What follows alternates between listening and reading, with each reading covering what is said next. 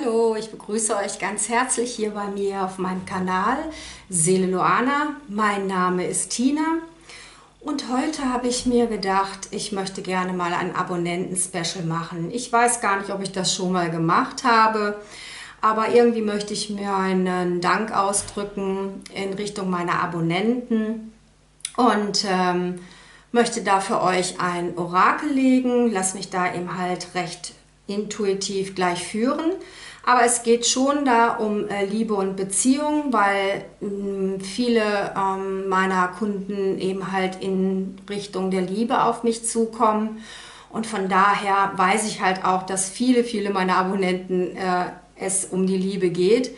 Es wird generell nicht für jeden Abonnenten zutreffen, aber vielleicht doch einige. Schaut mal einfach hinein und spürt mal nach, ob es wieder passt. Ja, ich habe hier schon mehrere Orakeldecks hier liegen und äh, ich werde äh, das sogenannte Beziehungsspiel, nennt man das, ähm, hier auslegen.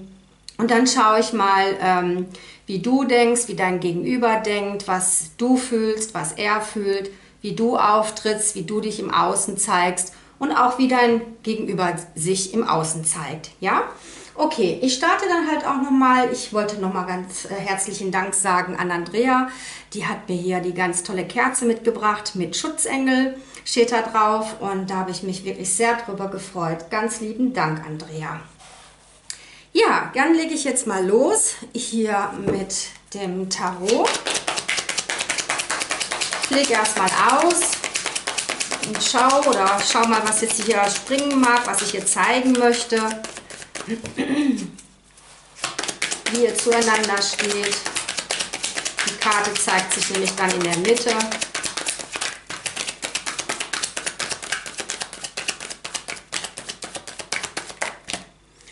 So, König der Kelche auf deiner Denkebene.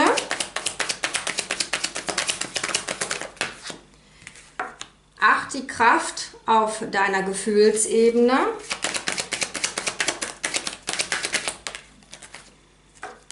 Auftreten Ass der Stäbe. Jetzt kommen wir zu deinem Gegenüber. Sechs der Kelche bei seinem Auftreten.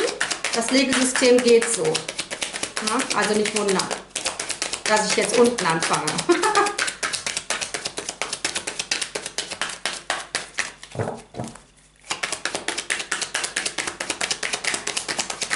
Seine Gefühlsebene kommt jetzt. Will er gar nicht preisgeben.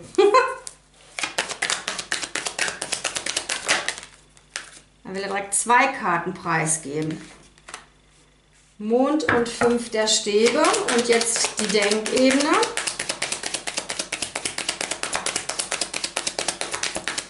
Ich habe gerade gesagt, das will er nicht preisgeben, ne? Und da ist der Mond gefallen. Das spricht ja total dafür, ne?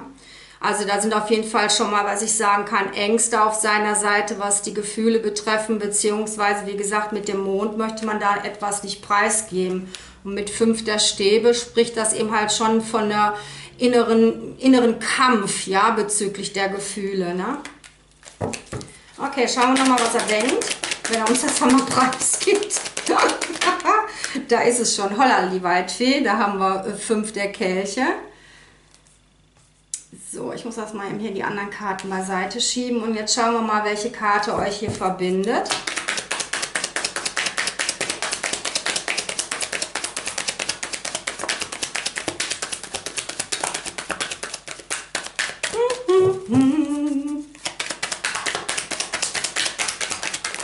Nee, das war zu viel. So viel nicht. Du liebe Güte. Eine reicht uns ja schon.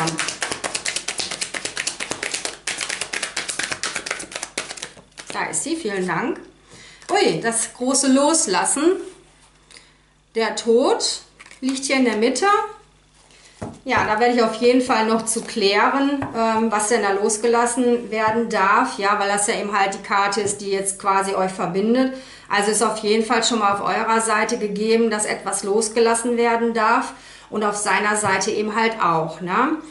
Äh, ich kann mir aber auch gut vorstellen, ja, wenn ich mal direkt bei der Karte bleibe mit dem äh, Tod, ja, ähm, äh, der, das heißt ja auch etwas äh, zu beenden, hinter sich zu lassen, damit man eben halt auch neu anfangen kann. Ne?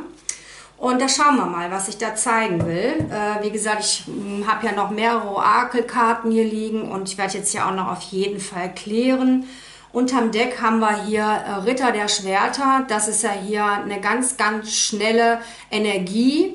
Also hier kann sich in der Tat etwas ganz, ganz schnell zeigen.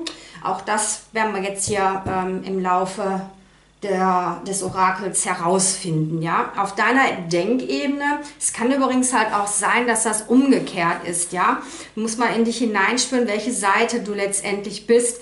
Ich persönlich lege jetzt eben halt erstmal fest, linke Seite bist du, rechte Seite ist er, ne? Aber ich weiß ja auch nicht, wer hier zuschaut, ne? Es sind ja auch ein paar Crosswatcher dabei. Und ähm, also gut hineinspüren, wo du sagst, hm, das kann ich sein, ah, das ist wirklich da gegenüber. Ne? Also gut hineinspüren. Du hast auf der Denkebene den äh, König der Kelche. Das ist eine Hofkarte aus ähm, der Kelchreihe. Und der König der Kelche, der gibt letztendlich ähm, nicht viel Preis ähm, über, ist ein gefühlvoller Mann erstmal, ja, eine gef gefühlsvolle Person, ja, auch hier, König kann eben halt auch Königin sein, ja. Also man könnte glatt sagen, dass du schon eben halt über ihn eben halt auch nachdenkst. Na, und du ihm halt schon weißt, er ist ein sehr gefühlvoller Mann, aber so wie ich ihm halt auch gerade schon sagte, der König der Kelche gibt aber eben halt nicht so viel Preis von sich. Gerade eben halt was Emotionen betrifft. Passt natürlich schon zum Pendant hier, was auf seiner Gefühlsebene ist. Möchte aber da noch nicht vorgreifen. Wir gehen ja hier Schrittchen für Schrittchen weiter. Und äh, jedenfalls nehme ich hier mit dem König der Kelche auf deiner Denkebene wahr, äh, dass ähm, dass du eben halt ganz intensiv über ihn nachdenkst. Ja, schauen wir mal, was du denn da so nachdenkst. Nehmen wir da noch mal so eine Klärungskarte zu, was wir da noch genauer wissen dürfen über den König der Kelche. Eine Zusatzbotschaft hätten wir noch gerne. Ui, guck mal, es doppelt sich. Haben wir hier die Kraft, die bei dir auf der äh, emotionalen Ebene ist, ja.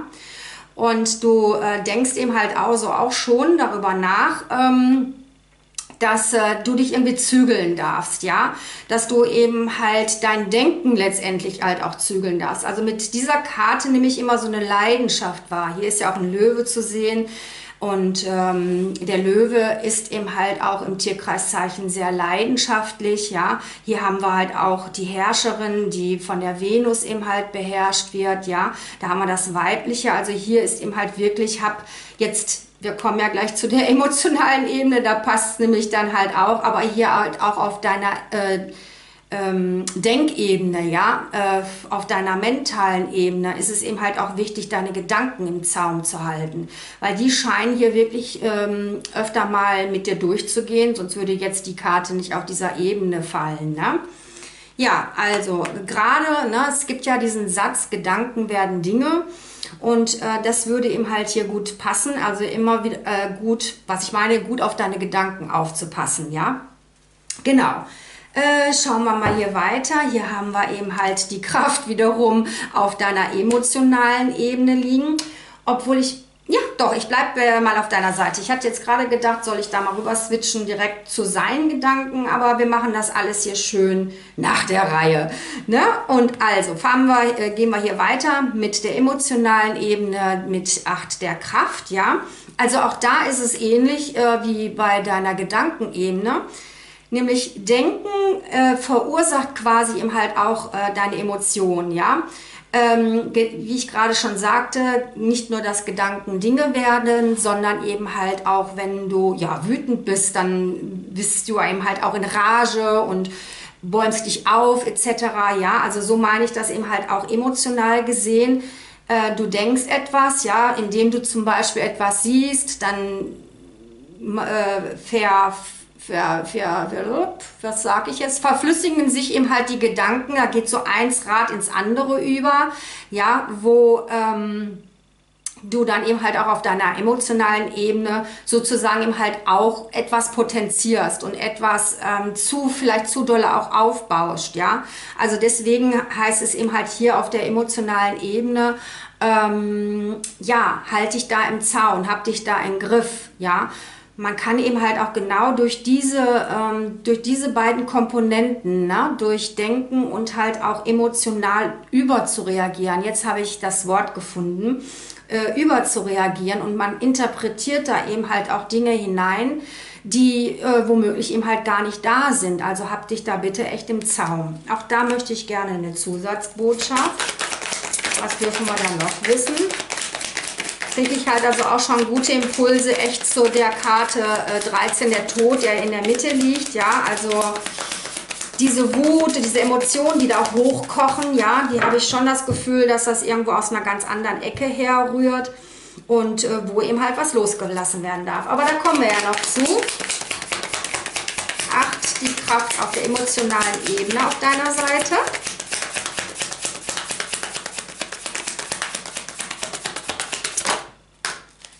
Ja, habe ich ja gerade gesagt, ne? Die Mäßigkeit, mäßige dich, ja, das ist aber auf jeden Fall halt auch eine Heilungskarte, ja, die Mäßigkeit ist eine Heilungskarte. Und ich hatte ja gerade noch, bevor ich äh, ähm, überhaupt hier eine Karte zur, zur Verfügung gestellt bekommen habe von der geistigen Welt, habe ich gesagt, ja, dass es wahrscheinlich äh, dieses Emotionale, was in dir rührt, ähm, von einer ganz, ganz anderen Ebene herkommt, ja, ähm, Elterngeschichte, kind, Kindheitsgeschichte eben halt, ja, generell eben halt verflossene Partner und, und, und, ja, also da rührt das eben halt letztendlich her, aber genau das möchte eben halt geheilt werden, ja. Schau äh, wirklich hin, ähm, beziehungsweise nicht schau hin, sondern äh, höre eher hin, ja, was dir dein Gegenüber zu sagen hat und hör ihm halt genau äh, den Worten, äh, hin, die er eben halt auch sagt. Und äh, ich sage jetzt mal, dichte da kein, kein Wort dabei oder reime dir darauf etwas, ja, das, was du eben halt aus deiner Verletzung eben halt heraus kennst. Ja, und das möchte, deswegen ist die Mäßigkeit hier gekommen. Also hier möchte etwas diesbezüglich geheilt werden. Nämlich, wie gesagt, dass du deine Emotionen im Griff hast, ja. Genau. So, du trittst auf mit, ähm, oder du zeigst dich im Außen, das gefällt mir eben halt sehr gut, mit Ast der Stäbe. Ja, da möchte ähm, eine Selbstentfaltung deinerseits stattfinden. Also du bist schon eben halt dabei zu reflektieren und ähm, eben halt auf dich zu schauen. Ne? Wieso geschieht mir das? Wieso hat mir mein Gegenüber das gesagt, geschrieben oder eben halt auch umgekehrt nicht gesagt und nicht geschrieben? Wieso hat er sich eben halt generell so verhalten, wie er sich verhalten hat? Ja, und ähm, das ist gut, nämlich nur so kann eben halt hier Heilung eben halt auch geschehen und nur so kannst du ja auch begreifen, wo, wo soll ich mich eigentlich im Zaum halten, ne? Und äh, ähm, was weiß ich wo, ne? Und es ist eher blablabla, also ihr kennt das Ganze und ähm, das ist wirklich super. Das gefällt mir gut. Asse sind ja auch immer die Chancen, die sich ja eben halt auch im Außen bieten. Und das Außen ist dein Gegenüber. Und es gibt nichts Intensiveres als ein Gegenüber, ein Partner, ein Herzensmensch, ein Seelenpartner, da natürlich ganz besonders in der Seelenpartnerschaft, ja, da geht es dann ganz, ganz intensiv zu.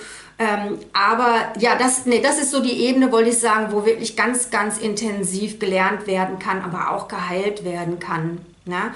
Und gelernt eben halt über dich, äh, also du lernst dich eben halt wesentlich besser kennen. Also wo habe ich mich denn da nicht im Griff? Weder im Denken noch in den Emotionen. Und aber du, wie gesagt, du hast hier das Ast der Stäbe und irgendwie weißt du, glaube ich, schon darum. Schauen wir mal, was jetzt hier noch eine Zusatzbotschaft, welche Zusatzbotschaft kommen möchte. Mit dem Ast der Stäbe. Welche Zusatzbotschaft bekommen wir da noch? Danke. Schau an, noch eine Stabkarte finde ich auch super toll. Super tolle Karte, die hier gekommen ist. Sechs der Stäbe. Das ist so Sieg, Erfolg, gute Nachrichten. Ja, ähm, aber in Bezug jetzt halt auch auf dein Auftreten und in Verbindung eben halt mit dem Ast der Stäbe sehe ich das eben halt so, wenn du eben halt weiter daran arbeitest, an dir zu reflektieren, wo sind denn da eigentlich meine Wurzeln, was ist da mein Anteil und äh, ja, wieso, weshalb, warum passiert mir das, ja, da wirst du mit Erfolg haben, ja, da wirst du siegreich voranschreiten können.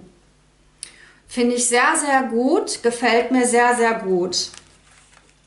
Ja, gehen wir mal zu deinem Gegenüber. Äh, ich fange aber da jetzt hier eben halt auch auf der Denkebene an, weil ich habe ja gesagt, das Legesystem ist eben halt 1, 2, 3, 4, 5, 6 und die 7 hier in der Mitte. Ja, und ähm, aber jetzt so beim Deuten bleibe ich natürlich auch erstmal bei der Denkebene. Ja, dein Gegenüber, schau mal hier. Dem geht es aber nicht so gut, ne? Fünf der Kelche. Er hat kummervolle Gedanken in deine Richtung. Ja, und ähm, er schaut jetzt hier auf drei umgekippte Kelche. Ja, also da scheinen ja mal gute Zeiten zwischen euch gewesen zu sein. Da war Feierlaune, weil drei der Kelche spricht von Feierlaune. Friede, Freude, Eierkuchen. Ja, und ähm, da schaut er drauf, die sind aber umgekippt. Da sind die Gefühle nicht mehr da, da sind sie rausgeflossen, das Wasser, Wasser sind Gefühle, rausgeflossen, ja. Und er müsste sich jetzt letztendlich umdrehen, weil es stehen noch zwei Kelche. Und die Karte 2 der Kelche ist eine sehr, sehr schöne Karte im Tarot. Da stehen sich eben halt Mann und Frau gegenüber, reichen sich die, jeweils einen Kelch. Und das ist dann schon sehr vielversprechend. Und äh, das ist auch im Übrigen eines ähm, der Seelenpartnerkarten, zwei der Kelche. Ja, worüber macht sich denn der arme Kerl hier solche üble Gedanken? ja, hammermäßig. Ne? Ich nehme sie jetzt nicht unbedingt, aber ich hab, ihr habt ja gemerkt, ich habe gerade angefangen, was fällt hier? Wieder die Karte. Ich lege sie jetzt mal daneben, also der macht sich ziemlich viele Gedanken, der hat wirklich ganz üble Gedanken. Ich habe noch gar nicht angefangen und exakt diese Karte zeigt sich doppelt in den Gedanken. Oh weia, was ist denn da los? Oh je. Aber äh, ich äh, nehme jetzt noch mal eine Karte dazu. Also das sind dann wirklich schon echt düstere Gedanken. Der hat wirklich sehr großen Kummer in deine Richtung. Was haben wir jetzt hier? Das Rad des Schicksals. Er weiß, habe ich es überhaupt hier richtig rum? Ja. Er weiß äh, ähm, darum, also dass drei Kelche umgekippt sind und zwei noch stehen. Äh, das weiß er und er wird hier halt auch von der geistigen Welt durch Inputs, durch Impulse egal durch äh, welche Impulse, das kann durch äh, Träume sein, das können durch Gespräche eben halt auch mit anderen sein, es können Zeichen sein, die er im Außen wahrnimmt. Womöglich sieht er immer wieder deine Initialen, ja, und ähm, ja, und muss dadurch eben halt auch immer wieder halt an dich denken und denkt eben halt auch an die Zeit zurück, wo eben halt diese drei Kelche auch noch gestanden haben.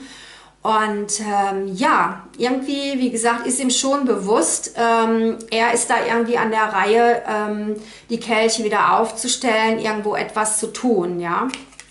Also es sind schon mit dem Grad des Schicksals sehr intensive Gedanken, ja. Dann hatten wir hier, habe ich ja schon äh, was zu gesagt, dann haben wir hier den Mond und äh, mit fünf der Stäbe.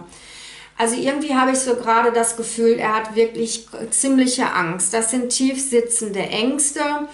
Und ähm, hier mit dieser Karte 5 der Stäbe ist es wirklich so eine innere Hin- und Hergerissenheit, ja, von womöglich eben halt, ja, wie stelle ich das denn wieder an, die drei Kelche aufzustellen ähm, und dass es wieder gut zwischen uns ist, was soll ich denn machen? Und ähm, irgendwo, wie gesagt, ähm, traut er sich eben halt auch nicht so, sich so richtig zu zeigen, aus sich herauszukommen. Okay, schauen wir noch mal, was da ähm, noch für eine weitere Botschaft sich zeigen möchte. Auch wenn da jetzt schon zwei Karten liegen. Macht ja nichts. Wir haben ja noch ein paar Kärtchen, ne? Da ist sie. Ach, guck mal hier. Da haben wir die Herrscherin. Also da sehe ich auf jeden Fall schon mal dich drin. Ja, also er hat dich hier schon auf jeden Fall ganz stark im Herzen. Aber da es hier eben halt auch darum geht, um den Mond und äh, mit äh, fünf äh, der Stäbe, habe ich aber hier auch mit der äh, Herrscherin äh, das Gefühl von, ähm, dass es da irgendwo äh, ein Thema bei ihm gibt, weil wie gesagt, es liegen ja auch die Ängste hier wo er ähm, ein Thema mit einer anderen Frau hat. Das kann jetzt ähm, die, äh, ein Familienmitglied sein. Ja, also was ich meine, ist eben halt Mutter, Schwester, vielleicht auch da die, die eigene, also die, eine erwachsene Tochter. Ähm, ähm, jetzt ist es hier im Übrigen die Herrscherin. Ne? Ihr wisst ja, Switchen kann halt auch hier um eine männliche Person gehen. Aber ich habe irgendwo so das Gefühl, dass er irgendwie rangelt und denkt daran, wir haben den Tod hier in der Mitte, ja, die Karte, die euch verbindet, hat er also auch etwas loszulassen und das kann eben halt mit dieser Person hier zu tun haben. Vielleicht fühlt er sich da in irgendeiner Form verpflichtet. Da möchte ich jetzt aber äh, noch mal eine weitere Karte ziehen. Äh, zu der Herrscherin. Was will die Herrscherin uns noch sagen? Wer ist denn da noch auf der Gefühlsebene als Herrscherin? bei deinem Gegenüber.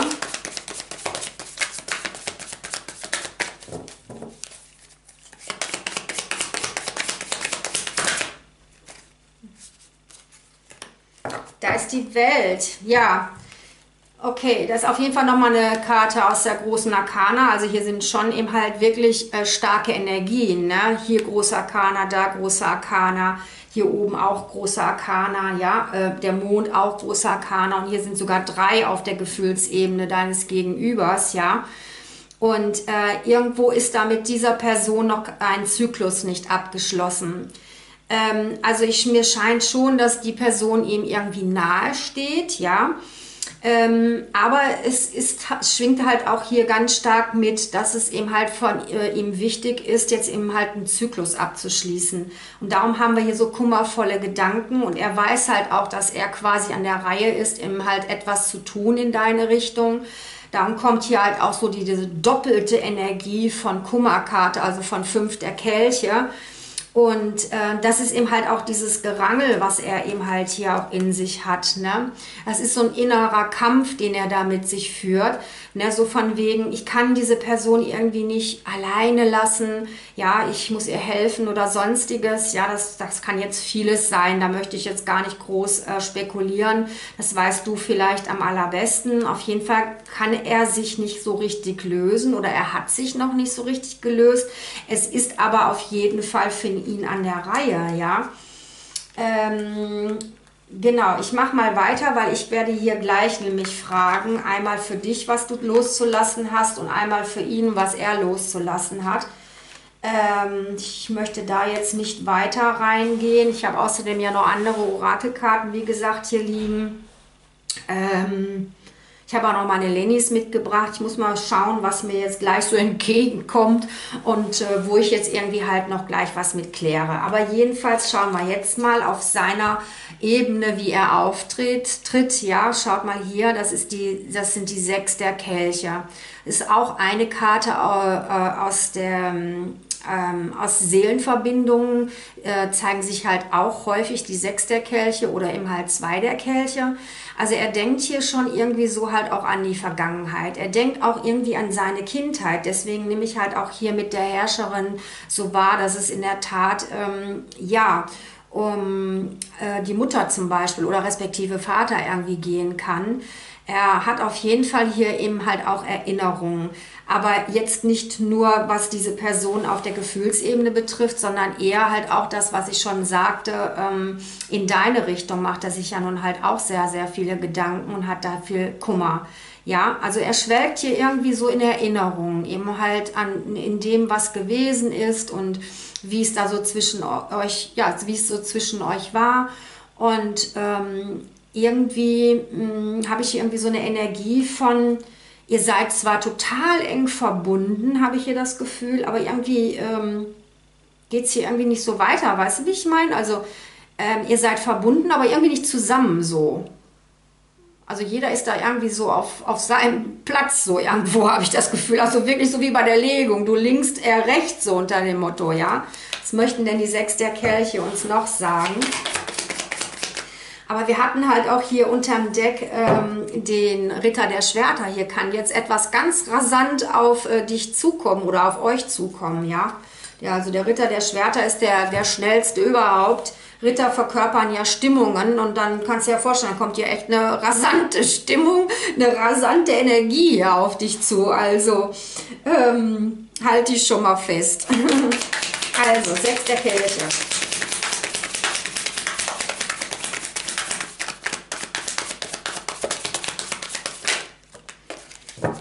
Ja, da haben wir zwei der Münzen, ja.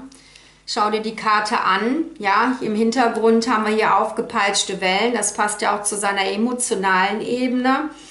Äh, und hier ist eben halt ein Mensch, der zwei ähm, Münzen hier hin und her jongliert, ja. Also es ist auch nochmal so dieses äh, von, ähm, er tänzelt halt auch hier auf, von einem Bein auf dem anderen. Er ist, so ein, er ist wankelmütig, ja, ähm, das ist ein, ja, ein wankelmütiges Auftreten seinerseits, auch wenn wir hier eine Münzenergie haben, die ja ähm, eine erdige Energie ist.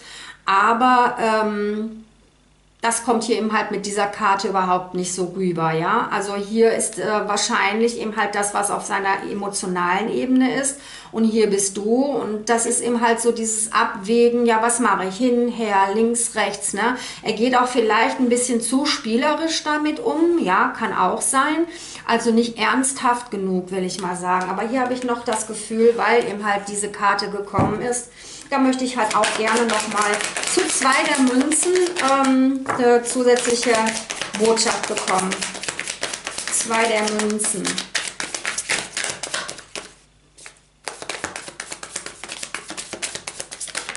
Dankeschön.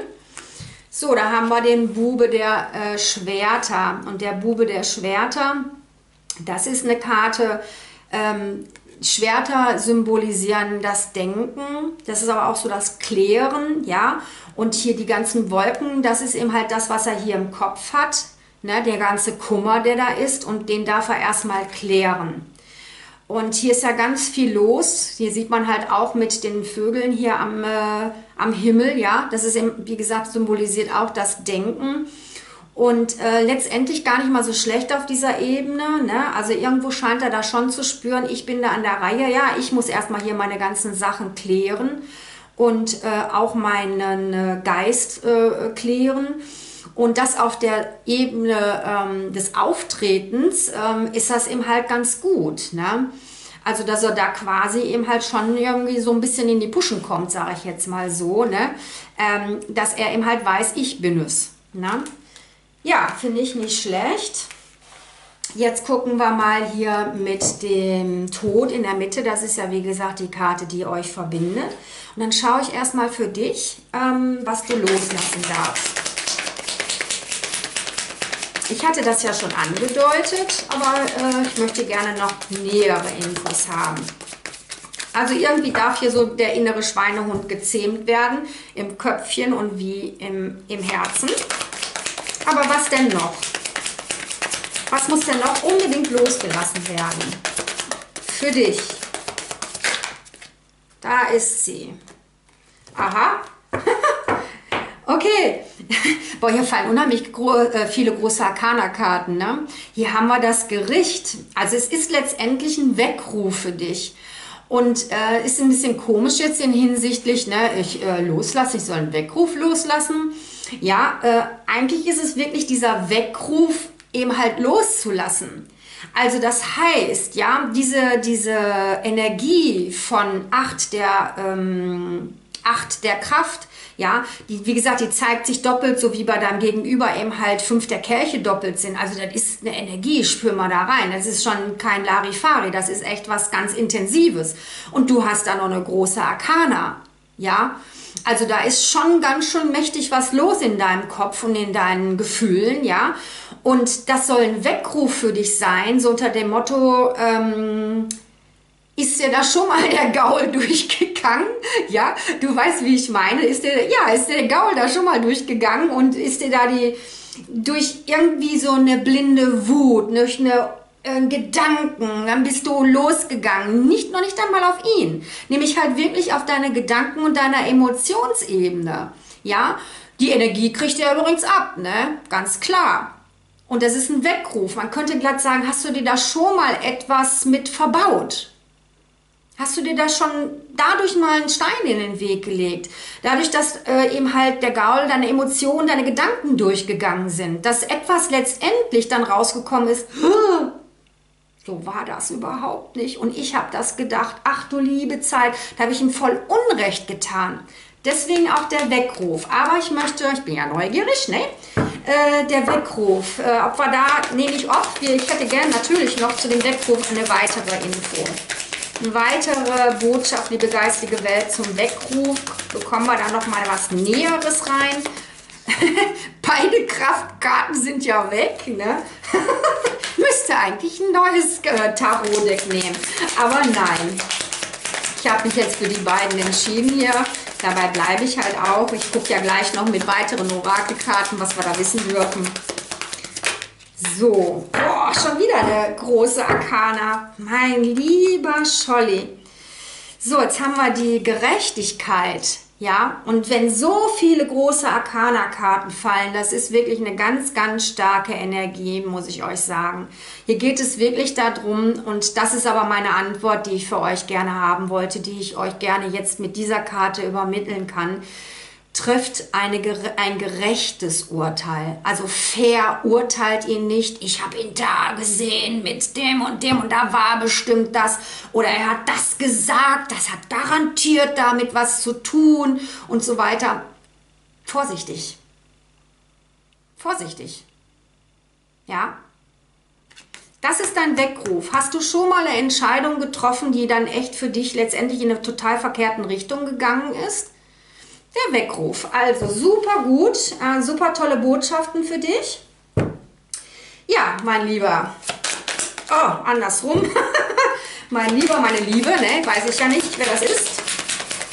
Was darfst du denn loslassen? Was darfst du loslassen? Was darf beendet werden? Da wollen sich direkt zwei Karten zeigen. Die haben sich auch gedacht, zeigen sich mal direkt zwei und zwar einmal die sieben der Münzen und der Hierophant. Also ich bin wirklich geflasht, wieder eine hohe Arcana-Karte. Ähm, was darfst du loslassen? Ja, ganz klar, eben halt hier mit sieben äh, der Münzen. Ähm, abwarten ist jetzt nicht mehr. Handeln ist dran. Ja, das, das ist hier eindeutigst, ja. Und ähm, mit dem Hierophant. Sekunde mal eben. Habe ich jetzt fast verschluckt. Habe ich wahrscheinlich jetzt irgendwie äh, eine Blockade bei ihm angestupst, habe ich ihn wohl angetriggert mit dem Hierophant. Ja, der Hierophant, der ist ja halt auch eine Karte, der, ähm, der geht so in die Sinnfindung. Jetzt haben wir aber hier die Energie des Loslassens ähm, des Beendens. Vielleicht eben halt auch wirklich zu sagen, ja, ich vertraue mal darauf, wenn ich abwarte, dann wird alles gut. Nee, mein Lieber. Aber nicht so, wie das jetzt hier liegt. Also ganz ehrlich, abwarten ist nicht mehr. Letztendlich weißt du das ja hier, ne? Schau dir deine Gedanken an. Ja, und äh, letztendlich weißt du halt auch hier, beziehungsweise ähm, äh, auf, dem, auf der Ebene des Auftretens hast du ja den Bube der Schwerter, also beginne wirklich mal dein Köpfchen klar zu machen, ja, also und ähm, abwarten ist jetzt nicht mehr. Und darauf hoffen und glauben und vertrauen, ähm, es kommt wieder alles gut. Und äh, es braucht vielleicht nur noch Zeit, ja, ich meine das jetzt gerade so, wie ich das so zeige, äh, nicht böse. Ich, äh, ihr wisst ja mittlerweile, also, dass ich da so gerne mal meine schauspielerischen Qualitäten äh, gerne mal preisgebe und hier kann ich das ausleben. Und ähm, ja, und deswegen bringe ich das so rüber und nicht so, ne, ne, ne, ne, ne, so, ihr wisst schon, ne? Also, mein Lieber, mach dich mal für Socken. Hier liegt der Ritter der Schwerter. Das ist nicht hier sieben der Münzen, das kann ich dir sagen. Da ist aber Rambozambo in der, in der Hose, hätte ich fast gesagt. das wollte ich aber gar nicht, so meinte ich das aber nicht, aber hier ist wirklich Action. Da ist nicht äh, eben halt, ach, ich äh, leg nochmal die Füße hoch. Mm -mm. Okay, ich glaube, du hast das verstanden, ja. Ähm, Was nehme ich jetzt nochmal? Was nehme ich jetzt nochmal? Ja, ich nehme mal hier die Karten aus dem Seelenpartner-Orakel. Da nehme ich nochmal eine Karte für dich, eine für ihn und eine für euch. Nee, ich mache erstmal so. Genau. So. So, eine für dich.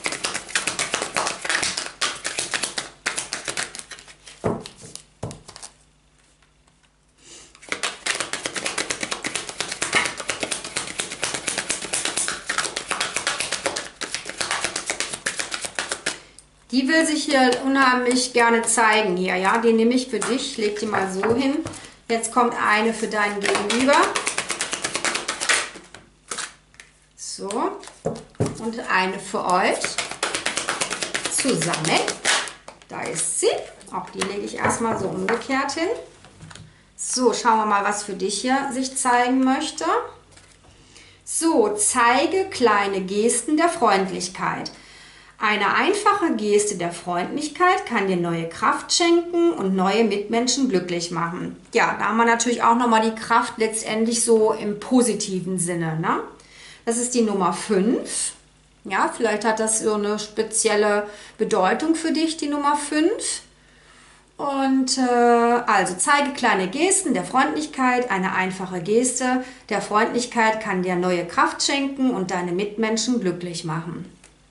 Hm, schauen wir mal, was dein Gegenüber für eine Karte hat. Das ist die 38, ist dann die 11. Hm. Ehrlichkeit ist entscheidend. Oh yes!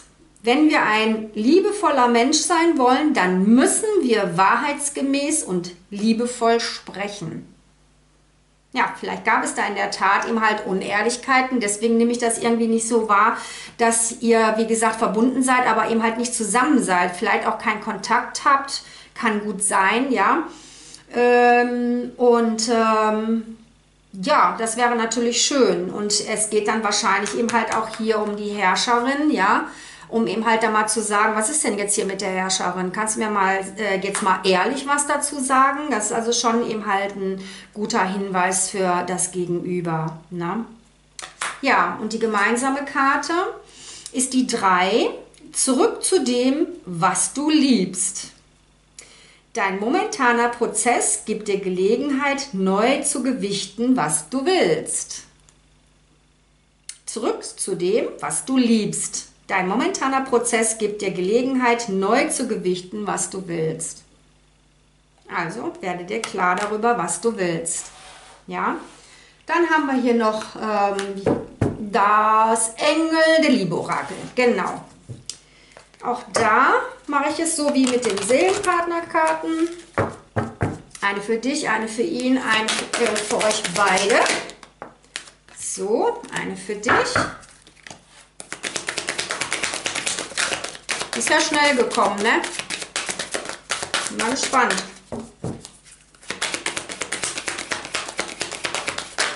Ach, du liebe Güte. Ganz viel Liebe.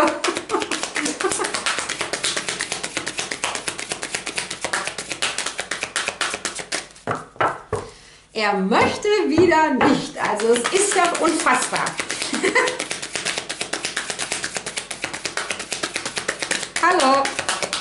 Karte bitte. Oh, vielen Dank. So, und eine auf euch beide. Mal sehen.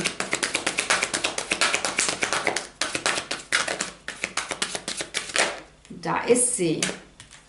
So, ich fange wieder bei dir an. Lass deinen Ex-Partner los. Die Zeit ist gekommen, deine Energie zu klären. Also bei dir ist auch noch nicht ganz etwas frei. Ja?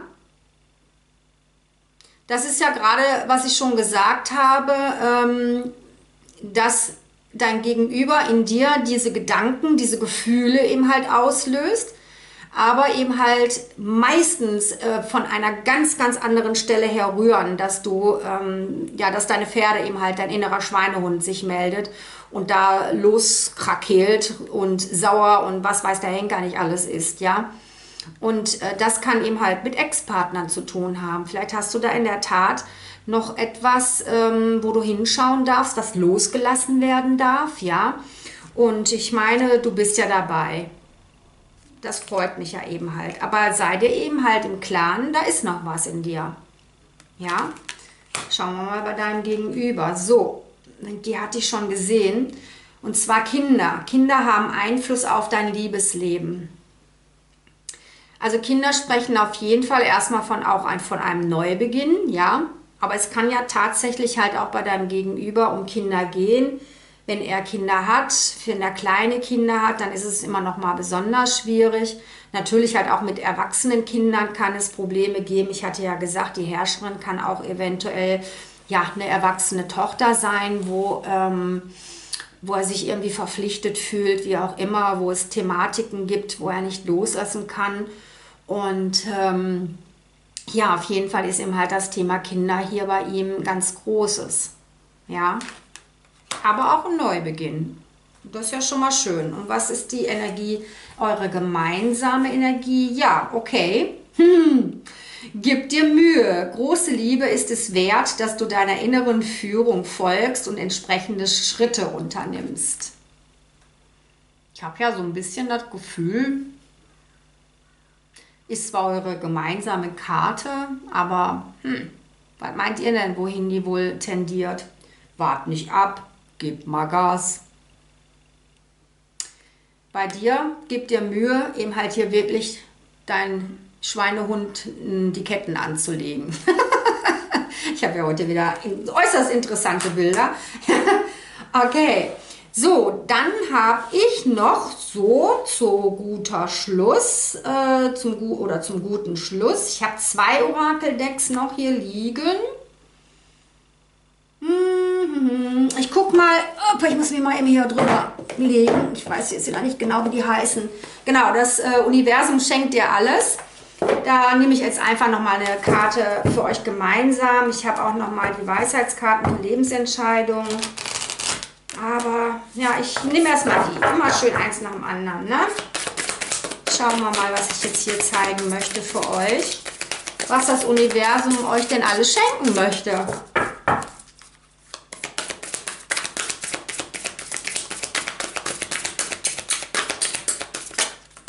Ich glaube, das sind mehrere, aber ich muss mal gucken, wie viele.